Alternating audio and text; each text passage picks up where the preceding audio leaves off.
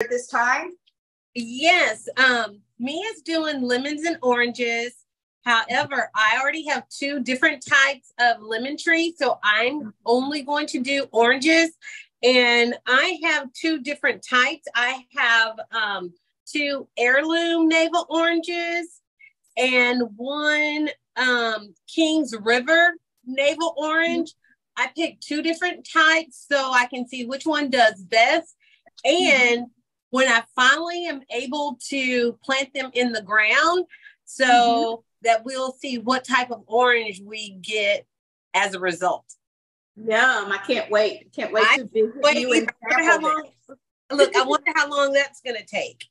Oh, well, oh, also one other thing that uh, you all will need is some aloe vera, uh, stem from an aloe vera plant, because we're going to use the gel from that stem or from that leaf to help stimulate root growth. Root growth.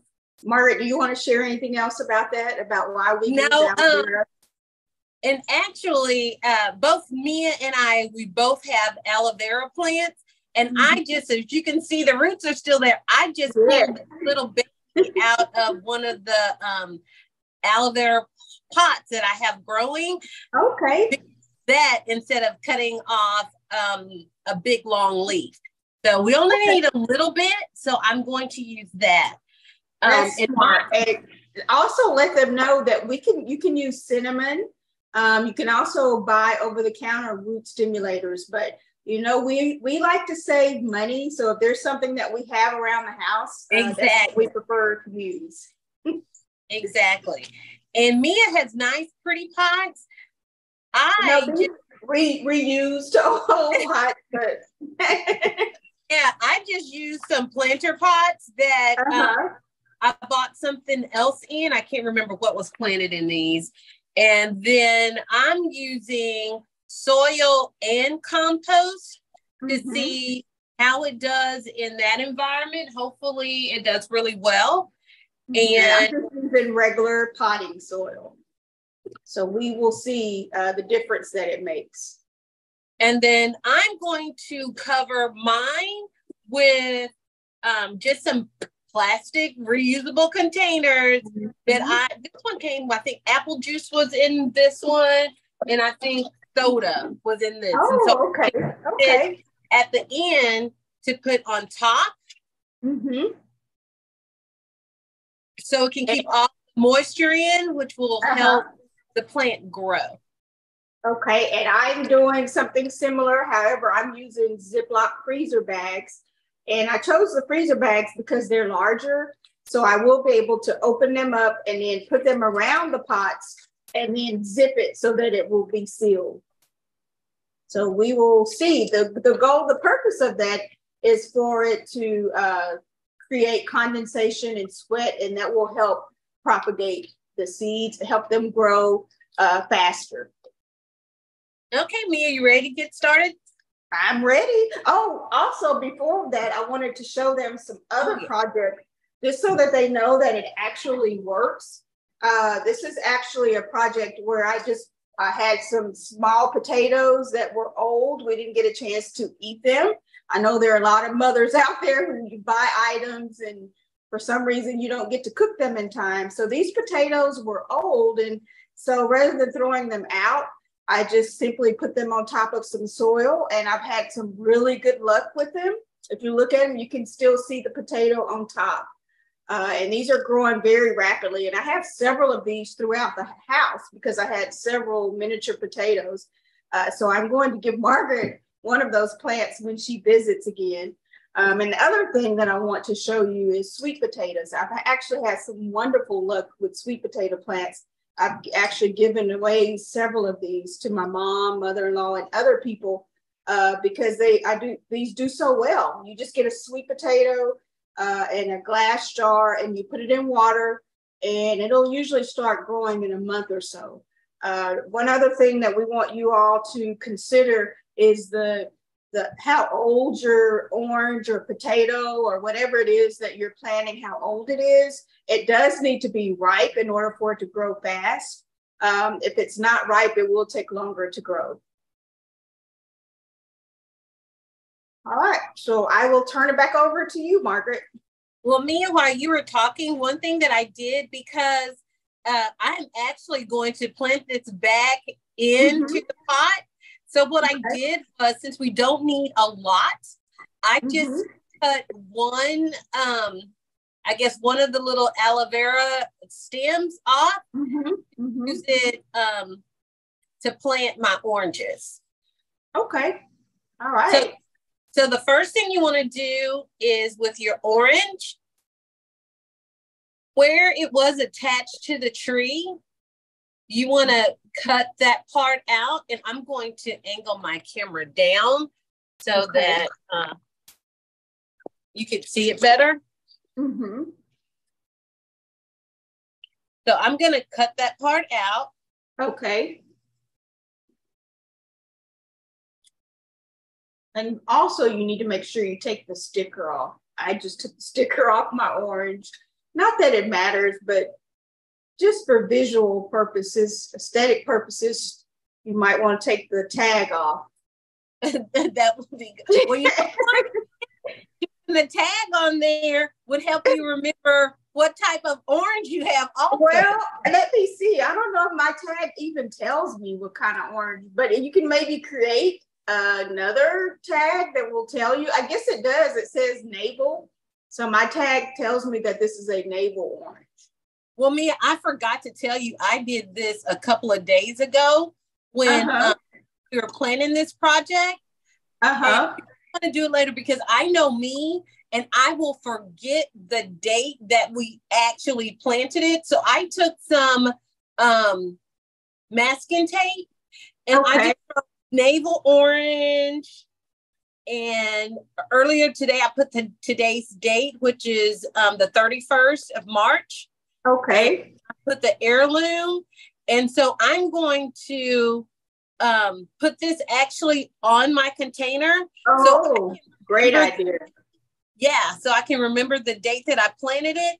Uh-huh. So I won't say, oh my goodness, it's not growing fast enough. So I'll remember mm-hmm. the exact date that I planted it. So I'm going to do this afterwards. And I forgot to okay. tell you that I yeah, was- you forgot to tell me that. I will be right back. Let me see if I can find some tape real quick.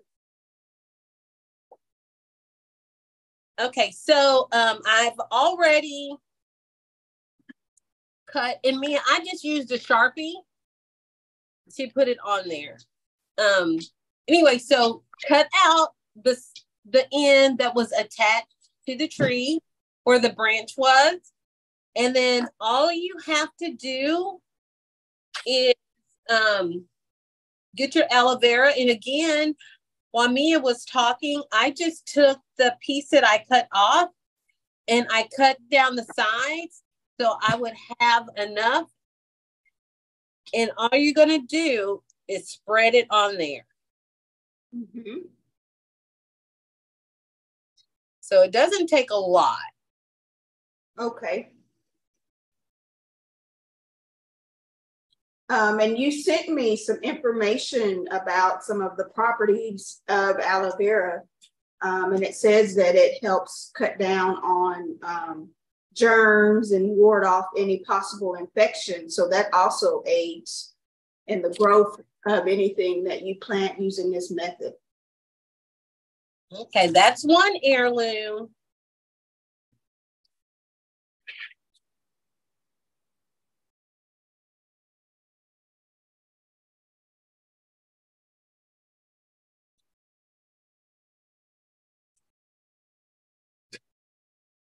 Trying to get a good amount on there. Okay.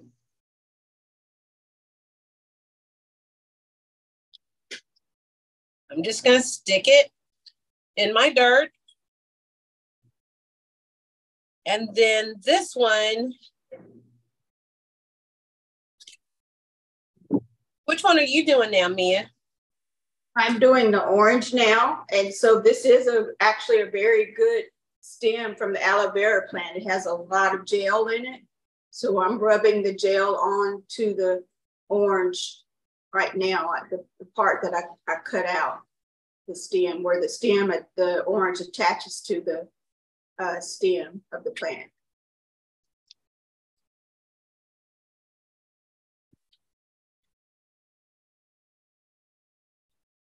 Okay,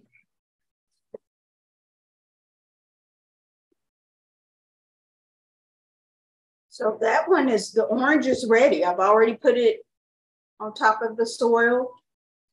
And are, are you doing uh, one of each or two of each? I'm just doing one orange and I think I'm gonna go ahead and do two lemons. Just to see, just in case one grows faster than the other. And I think this time I might, I noticed that in some of the videos um, that they have on YouTube, that some, and the one that you shared, they actually keep the plant miniature. I think they just cut it back year after year, year after year. Um, uh-huh. And then when the lemons start growing, it's actually a miniature lemon plant uh, because we've had a couple of lemon trees uh, that ended up growing so tall we could no longer keep them inside our house and we had to plant them in the yard. Um, and this year they didn't make it. So I think I'm going to try that method, just keeping it a miniature lemon tree.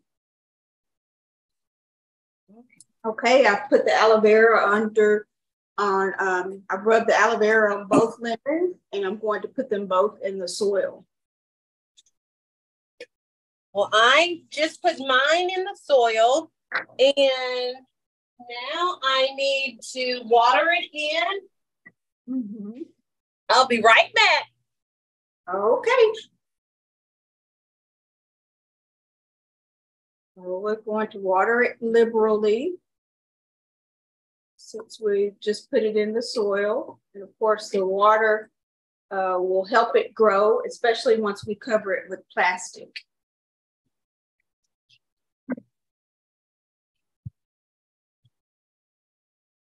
I forgot to. Yeah. And I'm just going to use a piece of paper and I have my Sharpie to uh, label it, label it with the date that we planted them. March 31st, 2003. Mia, do you know where you're going to put yours yet? 2023. Um, well, I noticed that many of most of the videos said they need to be in a warm spot. Um, the, the warmness will help the seeds inside the orange and lemon germinate. So I'll have to find a warm spot. I do want to keep them indoors because we do have a lot of animals uh, who love to come onto the porch and, and eat whatever we have. If we have edible plants, uh, they will definitely eat them. So I will have to maybe find a windowsill somewhere in the house to place them. Do you know where you're going to place yours? I am. Well, Mia, if you have it covered, then um, they won't be able to get to them, right? Mm, I'm not so sure. We have some pretty determined animals. they might pull it down, it might tumble. I don't know. I think I'm going to just put mine in the windowsill for now. Gonna, are you going to put yours on your veranda? You're you're probably okay because you have a veranda. I don't know. I I am getting so many plants uh-huh. like I have too many plants. Mm-hmm. It won't get enough sun because it's covered. Yeah. So I put it there. I think I'm going to put it way in the back of our okay. yard. Somewhere where where the animals can't get to it. Maybe I'll do that. Sun because in my little garden area, like the back back of our yard, um, uh-huh. are already digging up the ground. I was like, oh my goodness, already. Every year I find yes. from digging Every up. year. Especially anything that's new. So what I might do, I can put them on my front porch. We tend to have better luck there. So we have a couple of um, table, like a small table on the front porch. Maybe I can put them on that and then put some other plants around them so that they don't notice them as much. That's Maybe what I'll I do that. Since it needs a lot of sun, I definitely yeah, needs a lot of sun. I think, uh, yeah, I think you need to put it outside so that it'll grow faster. Yes. Maybe one day we'll have a greenhouse so that we can uh, work on our projects and then place them in the greenhouse. Wouldn't that be nice? Maybe that, that could be our next project to build a greenhouse. look, look, you're look, you're all finished and I'm still going. No, I I just I just put the plastic on top, I watered, and that's it. Just one step ahead of you. That's it. Now you're done. Now I'm done. So I'll take a picture of where I put them. Um, okay. I'm gonna put them inside of another planter. Okay. So, um, you know, so the wind doesn't blow them down because I'm gonna put it way back, like out of okay. not fine, but I'm not gonna put them on the veranda. I think they need a lot of sun, so I'm okay. gonna an area that's not covered. Okay, I, I will look in the backyard and see if I can find a safe spot or front yard, um, and I'll I will take a picture as well. Okay, well, we're done with our project for today. Done. Very excited. Thank you all for joining us for Cooking and Crafting with Margaret and Mia. Uh, we hope to bring you all some more projects in the upcoming weeks. Uh, we're working on some special beverages uh, mm-hmm. that will have some healthy benefits. Uh, we're also working on a wreath design um, that we think you all will love. So those are some projects that are on the horizon. Thank you and see you next time. Bye. Bye-bye. Okay. Let me end it and see if I can make sure that it the recording that we save it. I know. I don't know what happened to mine. See me I um I cut it back